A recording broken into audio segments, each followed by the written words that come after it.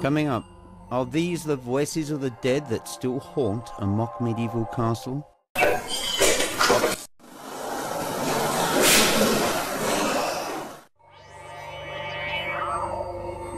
More from the investigations of Haunted Earth with Chris Horton.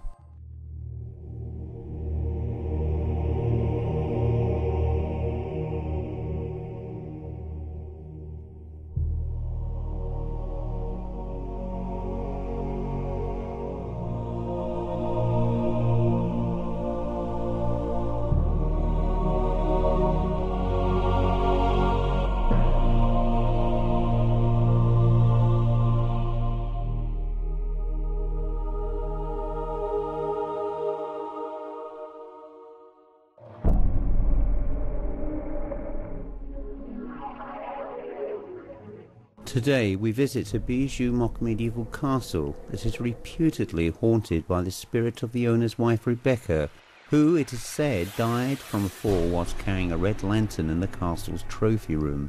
Legend adds that on some nights a red light is seen from the window, accompanied by pitiful cries of pain and distress. Squire's Castle was built in the 1890s by Feargus B. Squire for use as a lodge for a country estate which was never built. Squire, founder of Standard Oil Company, bought the surrounding 525 acres of land but never completed the project. He later sold the property in 1922 and the Cleveland Metroparks acquired it in 1925. Arriving just before site closure at night, we decided in the minutes that we had available to us to try and find any evidence of a spiritual haunting. We were very surprised by the evidence we captured on video and still camera.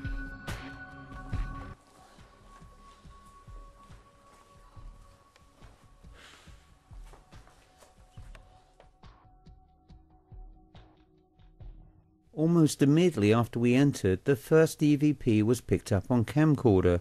The voice is to say very strange, but appears to be saying something like Jack speaking, which is then overlaid by an angry sounding but unclear second male voice. Oh, it must have been a four.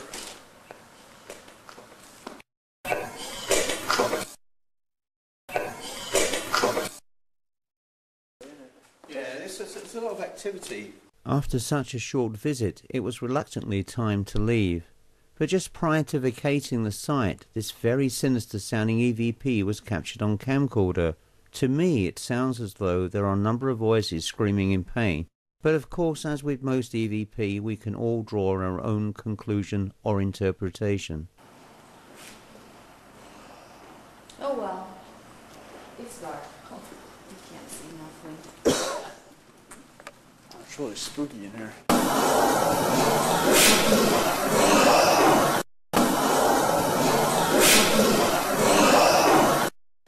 And finally, here are some photographs which were taken on this particular investigation.